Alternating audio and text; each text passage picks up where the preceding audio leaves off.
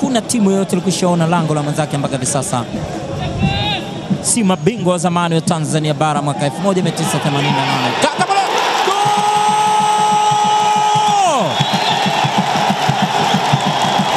Coastal Union wanaandika bao la kwanza, wanasema kwa kila anayechezea kwao ni sharti atunzwe.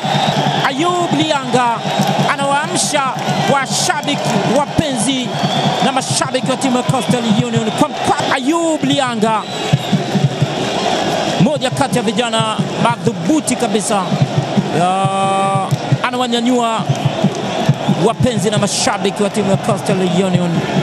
Blianga anawaamsha washabiki wapenzi na mashabiki wa timu ya Coastal Union kwa mkwaju wa mbali.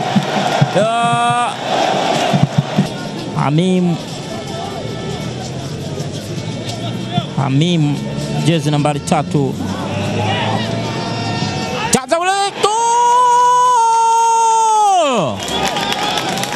yule yule muuaji wa Simba, yule yule muuaji wa Simba.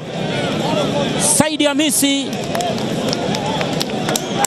anaachia mkwaju mkali kabisa, ambapo ya, wanakwenda kusawazisha timu ya Mbao, akimwacha mlinda mlango Hussein Sharif hasiwe na la kufanya.